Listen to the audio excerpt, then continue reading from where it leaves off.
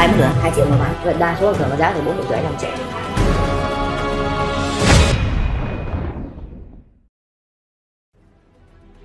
Hà Nội những ngày cuối thu khi phố thị lên đèn thì cũng là lúc người ta dễ dàng bắt gặp những hình ảnh như thế này. Đầu chân, phóng nhanh vượt ẩu, chở quá số người, bất chấp mọi quy định của luật an toàn giao thông. Chẳng cần phải là khách làng chơi thì cũng dễ dàng nhận ra đây chính là những chiếc xe chở các nữ tiếp viên karaoke đang vội vã di chuyển tới một nơi mà nhiều thực khách gọi là động thiên thai, nơi mà dưới lắm tiền nhiều của vẫn dỉ tay nhau là có thể thác loạn từ A đến Z sau những trận nhậu vẻ vững.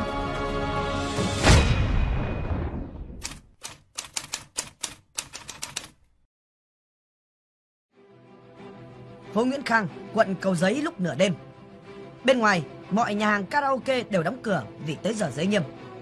Thế nhưng, luôn có từ một đến vài người đứng xung quanh cánh cửa này làm nhiệm vụ đón khách. Chỉ cần có nhu cầu và có tiền là cánh cửa giới nghiêm lại được nhà hàng kéo lên.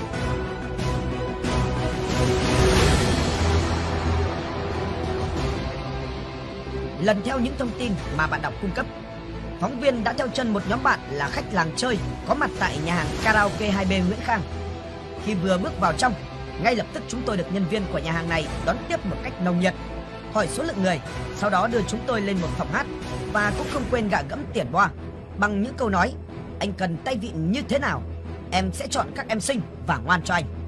Bước vào phòng karaoke, sau khi hát được vài bài thì cánh cửa phòng bắt đầu mở ra chúng tôi được yêu cầu chọn một cô gái hay còn gọi là tay vịn ngồi cùng.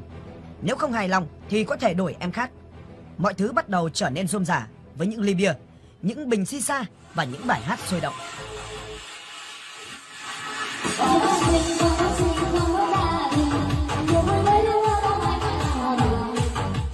Như đoán được ý hoặc đã trở thành một thói quen. Khi thấy khách đã say nồng trong hơi men, quản lý phòng ra ghé tai một người trong nhóm chúng tôi và hỏi có muốn biết thứ hay hơn tay điện không. Nếu đồng ý thì chuyển phòng với điều duy nhất cần biết đó chính là biết chơi. ba mức nữa ok hai triệu một bán hai triệu một bán một người một lửa 30 phút 2 triệu Hiểu ý của quản lý này, người trong nhóm chúng tôi đã lấy tiền bo cho anh ta 500.000 đồng. Và ngay sau đó, chúng tôi được di chuyển sang một căn phòng khác. Chưa đầy 10 phút sau, hai cô gái đeo mặt nạ được dẫn vào.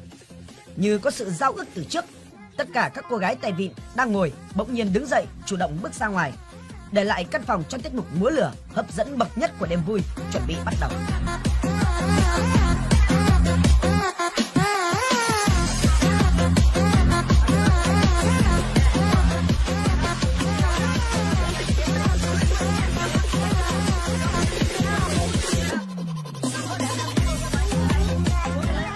Đúng như quản lý ở đây nói, chỉ cần biết chơi là những thứ hay hơn tay vịn bắt đầu được trình diễn và những bộ xiêm y của các cô gái bắt đầu được lột bỏ theo tiếng gọi của những đồng tiền hoa.